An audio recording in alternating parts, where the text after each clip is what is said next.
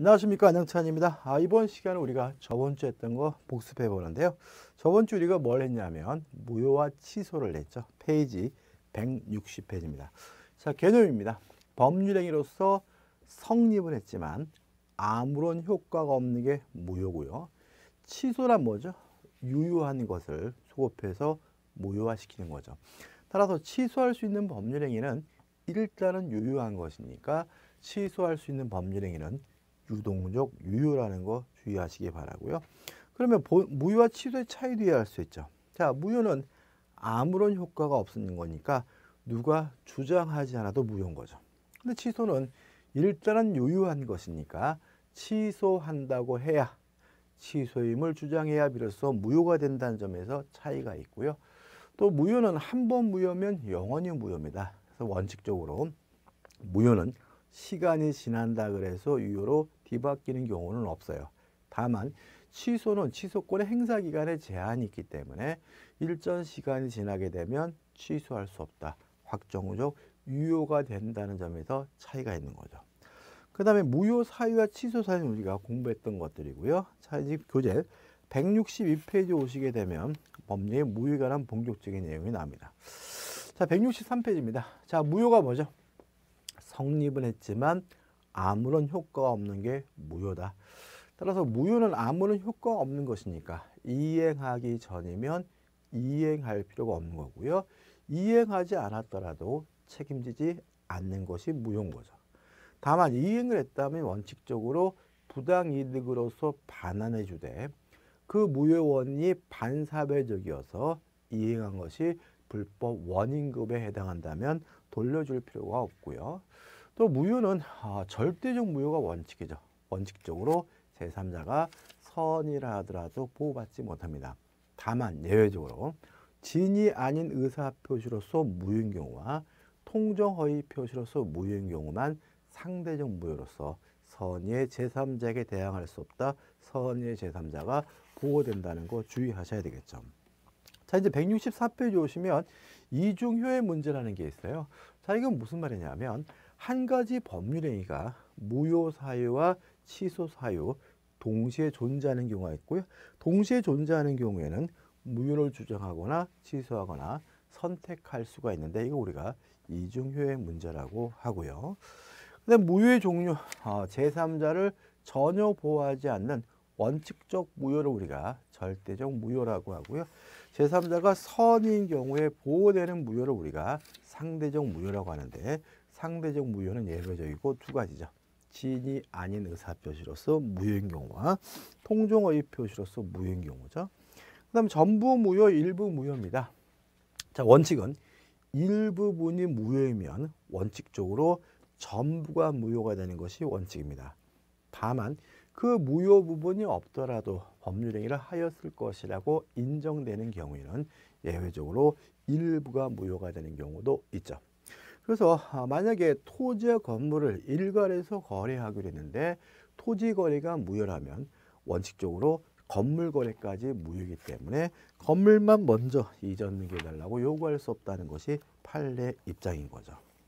자, 166페이지 오시면 확정적 무효와 유동적 무효가 있죠. 자, 한 번 무효면 영원히 무효인 것이 원칙인데 이걸 우리가 확정적 무효라고 하고요. 지금은 무효지만 유효로 뒤바뀔 가능성이 있는 무효를 우리가 유동적 무효라고 하는데 예외죠. 여기서 공부하는 것은 뭐죠? 토지거래 허가구역 내에서 거래죠. 자, 토지거래 허가구역 내에서 거래를 하게 되면 허가를 안 받았기 때문에 일단은 무효지만 나중에 허가를 받게 되면 유효로 뒤바뀔 가능성이 있기 때문에 대표적인 유동적 무효죠. 효과입니다. 첫째, 유동적 무효도 원칙 무효다. 따라서 다른 무효와 마찬가지로 이행할 필요가 없고 이행하지 않더라도 채무불이행이 아니므로 유동적 무효 상태에서는 채무불이행을 이유로 계약을 해지하거나 손해배상을 청구할 수 없는 것이 원칙이죠.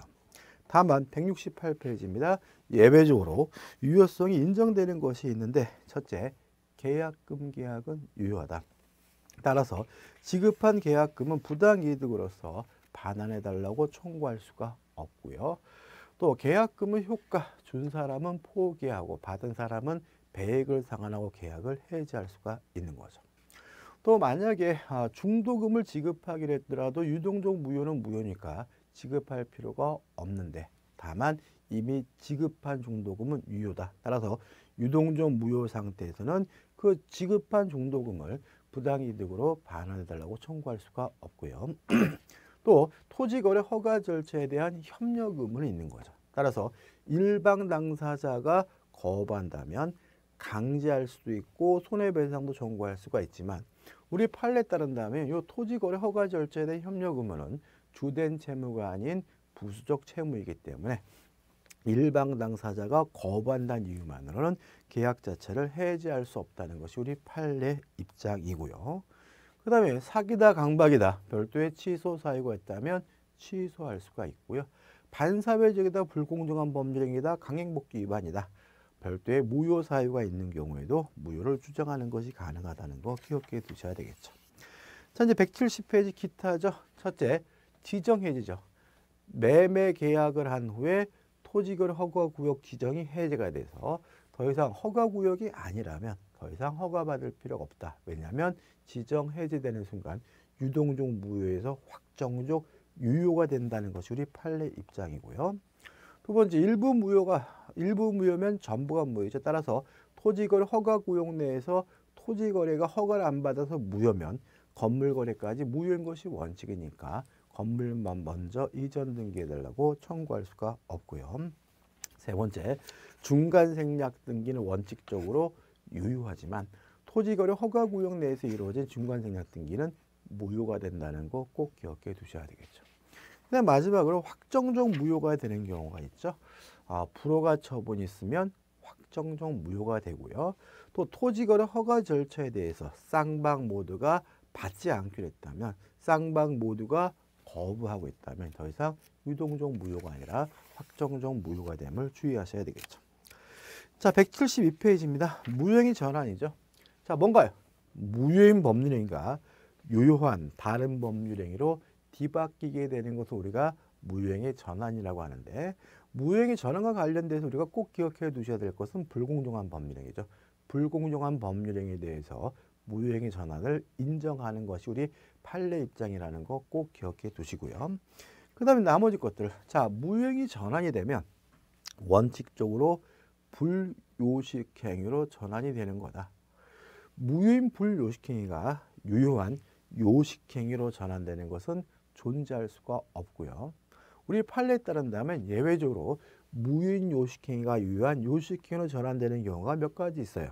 첫째, 타인의 자를 친자로 입적하게 되면 무효지만 입양, 양자 입적으로서는 유효하고요. 또 혼인의 출생자를 친자로 입적시키면 무효지만 인지로서는 유효하고요. 또 자필 증서에 의한 유언이 무효인 경우에 아, 아 다시 한 번요. 비밀 증서에 의한 유언이 무효인 경우에 자필 증서에 의한 유언으로, 유언으로 전환될 수가 있죠. 이거는 우리 판례가 무효인 요식행위가 유효한 요식행위로 전환을 인정하는 예예요. 여기서 우리가 꼭 기억할 것은 뭐냐면 자 여섯 가지가 다 가족법상 행위니까 우리 판례에 따른다면 친족 상속법과 같은 가족법상 행위에 대해서 무효행위 전환을 인정한다는 점. 또 유언에 대해서도 무효행위 전환을 인정한다는 것은 단독 행위에 대해서도 무효행위 전환을 인정한다는 것까지 꼭 기억해 두셔야 되겠죠. 자, 174페이지 무효행위 추인입니다. 자, 어떻게 기억합니다. 정리합니까? 첫째, 불가능한 경우. 반사회적 법률에서 무효인 경우, 불공정한 법률에서 무효인 경우, 강행복규 위반이죠. 이세 가지 경우는 추인할 수가 없다. 두 번째, 가능하지만 새로운 법률 행위가 대해서 소급하지 않는 경우인데 조심할 것은 이런 경우에도 당사자 간의 약정 특약으로 소급시키는 것이 가능한 경우죠. 세 가지입니다. 의사 무능력제 법률 행위, 진이 아닌 의사 표시가 무효인 경우, 통종허위 표시 이 세 가지는 추인할 수 있고 추인하게 되면 새로운 법률이가 되기 때문에 소급하지 않지만 당사자 간의 특이약으로 뭐 할 수 있죠? 소급시킬 수가 있는 거죠. 마지막으로 추인할 수 있고 추인하게 되면 소급해서 유효가 되는 경우도 있습니다. 뭐죠? 무권 대행위가 그에 해당하는 거죠. 자, 이렇게 이제 무효가 끝났고요. 이제 취소죠. 자, 178페이지죠. 의죠. 일단은 유효한 법률 행위를 소급해서 무효화시키는 것을 우리가 취소라고 하는데 철회는 다르죠. 철회라는 것은 효과가 발생하기 전에 효과 발생을 막는 거고요.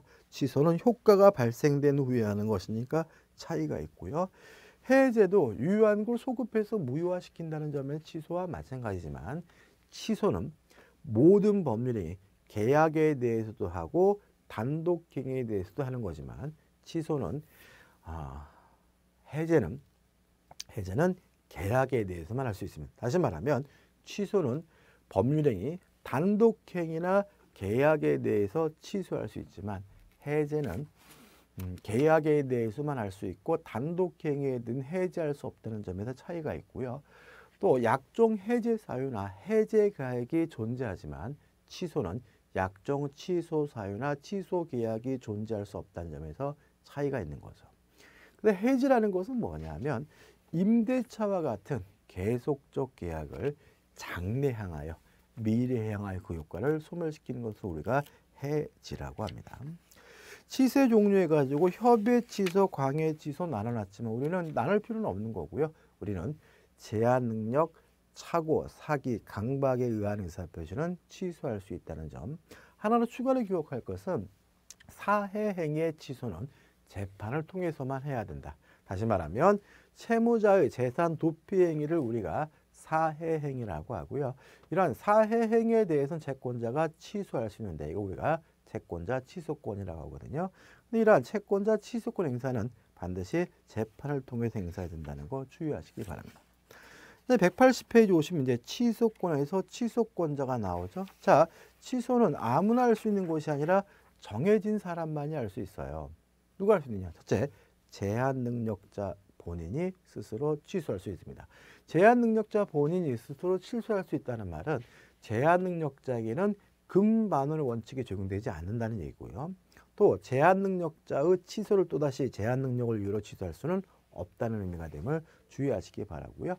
두 번째, 차고, 사기, 강박에 의한 의사표시자 취소할 수 있고 세 번째, 이들의 대리인도 취소할 수 있습니다.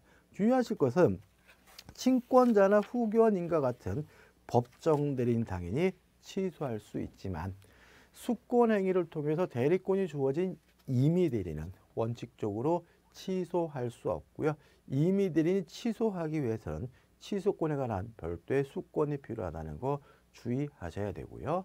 또 상속인과 같은 포괄 승계인도 매수인과 같은 특정 승계인도 승계인도 취소할 수 있다는 거 주의하셔야 되겠죠. 그 다음 취소의 방법 아, 특별한 제한이 없습니다. 말로 하든 문서로 하든 어떤 방법이 상관이 없고요. 명시적으로 할 수도 있고 묵시적으로 할 수가 있는데 취소의 상대방 누구한테 해야 되느냐 취소하고자 하는 그 원래의 법률행위 상대방이 취소의 상대방이 된다는 거 주의하셔야 되고요. 183페이지입니다. 취소 효과죠. 취소를 하게 되면 소급해서 무효가 됩니다. 제3자인데 원칙적으로 제3자가 선이면 보호가 됩니다. 다만 제한 능력을 이유로 취소한 경우에는 제3자가 선의인 경우에도 보호되지 않는다는 거 주의하시면 되고요.